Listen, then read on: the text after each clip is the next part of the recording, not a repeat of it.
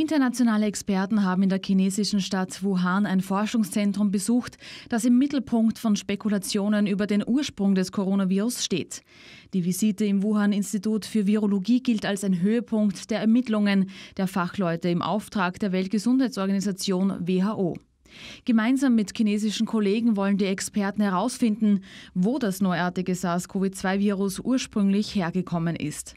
Das Viruslabor ist eine führende Einrichtung unter Chinas Akademie der Wissenschaften. Es forscht schon lange mit Coronaviren von Fledermäusen, die wegen der genetischen Ähnlichkeiten als Ursprung für die Pandemie verdächtigt werden. So war spekuliert worden, dass das Virus möglicherweise auch aus dem Labor entwichen sein könnte, was die chinesische Seite aber energisch bestritten hat. Die als Batwoman bekannte und international renommierte Fledermausforscherin Xi Zengli von dem Institut war schon vorher mit den WHO-Experten zusammengetroffen und hat einen Vortrag gehalten. Es gab auch unbewiesene Verdächtigungen, dass vielleicht ein Laborunfall mit einem künstlich manipulierten Virus passiert sein könnte. In der Mehrheit sind sich führende Experten, die sich die genetische Information angeschaut haben, aber einig, dass es sich um ein natürliches Virus handelt. Mitglieder des WHO-Teams haben wiederholt betont, mit einem offenen Blick in die Untersuchungen zu gehen und keine möglichen Szenarien auszuschließen. Erst nach langem Tauziehen hat China ihren Besuch zugelassen. Die Experten haben in Wuhan seit Mitte Jänner bereits Krankenhäuser, Forschungsinstitute und einen Markt besucht, auf dem wilde Tiere gehandelt wurden.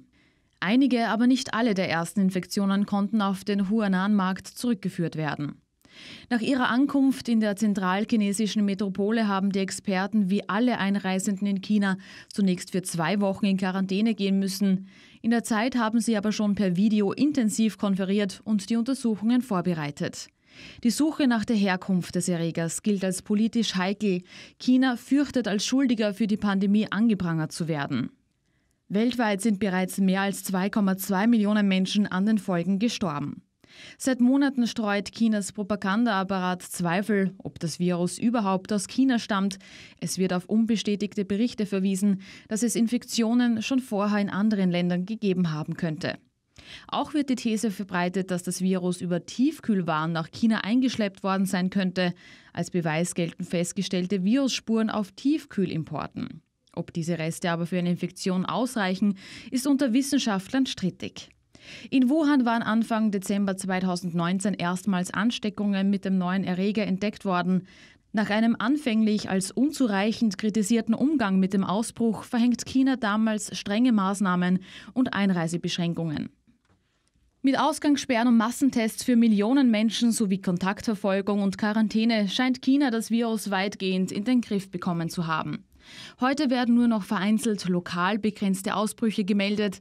Das Leben hat sich normalisiert.